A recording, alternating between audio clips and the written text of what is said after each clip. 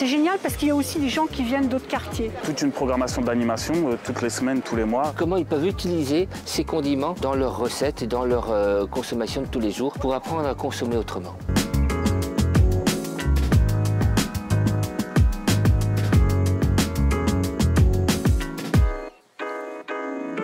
Que j'attends de cette démarche, euh, d'abord, c'est d'apporter du beau dans des quartiers qui sont euh, socialement fragilisés et qui sont en train de se porter vers l'avenir. C'est ce qu'on est en train de faire. Et en même temps, je voudrais apporter de l'échange entre les habitants. Ce qui était important, c'est ce qu'on dit euh, d'abord les enfants et puis les gens qui pratiquent l'agriculture dans, dans ce jardin et dans le jardin des senteurs et des saveurs. C'est toute la démarche, bien sûr, de culture, d'agriculture, mais toute la démarche d'échange aussi.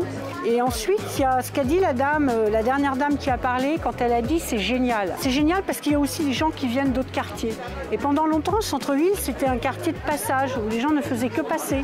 Et aujourd'hui, il y a un échange qui se produit entre les différents quartiers. Et il y a des gens qui restent dans le quartier du centre-ville, même s'ils n'y habitent pas. Puis je trouve que c'est tellement joli, c'est beaucoup plus beau. Quand on est aux fenêtres ici ou aux fenêtres du jardin des senteurs et des saveurs, ben, on a vu sur quelque chose qui sent bon, qui est beau, qui fleurit, qui change en fonction des saisons. Et on est en train d'apporter de la vie dans des endroits qui n'avaient pas de vie.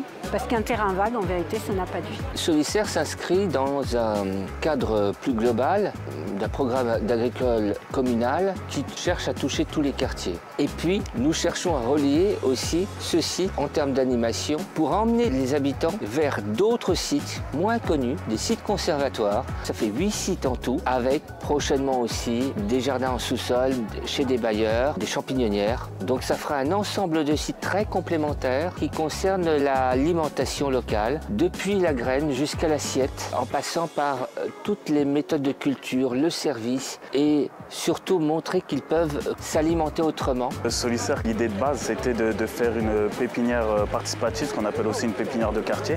Donc Solicère, c'est pour serre solidaire. Et donc l'idée avec ces deux serres, c'est de produire des plants avec et pour les habitants. Les habitants viennent gratuitement, sans inscription, ils viennent aux ateliers. Donc c'est tout ce qu'on peut décomposer au jardin. On en fait des, ateliers autour de, la fabrication de plants, euh, c'est-à-dire du semis, euh, au rempotage, à la protection du, plant. Après, euh, sur le projet, on a aussi rajouté un jardin pédagogique. Et là, depuis le début de l'année, il y a des parcelles d'apprentissage que, les habitants peuvent occuper. Donc en fait, il y a toute une programmation d'animation, toutes les semaines, tous les mois. De, je fais environ trois animations par semaine. L'idée, c'est vraiment que les, habitants ils, viennent participer à la production ils repartent avec des choses. Par exemple, ils peuvent m'aider à rempoter 100 plants de persil et chacun pourra repartir avec 2-3 plants de persil pour chez eux. Euh, déjà, j'ai une passion pour euh, la nature et le jardin, parce que moi-même, euh, bien qu'habitant en HLM, j'ai la chance d'avoir un petit jardin. Et le fait d'avoir euh, cet espace, bah, ça permettait bah, de pouvoir avoir d'autres variétés, des légumes, des fruits, enfin surtout des légumes, bah, que je ne peux pas faire dans mon jardin. Déjà, avant le jardin des senteurs, il y avait eu un projet. Maintenant, nous avons Solicère. Solicère, ça permet de faire les semences et donc en hiver, quand même, de pouvoir travailler. Et en plus, on a des parcelles conséquentes.